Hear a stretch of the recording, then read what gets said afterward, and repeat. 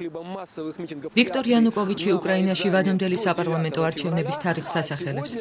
პრეზიდენტობის კანდიდატის თქმით, არჩევნების მეორე ტურში მისი გამარჯვების შემთხვევაში ვადამდელი საპარლამენტო არჩევნები მაისში გამართება.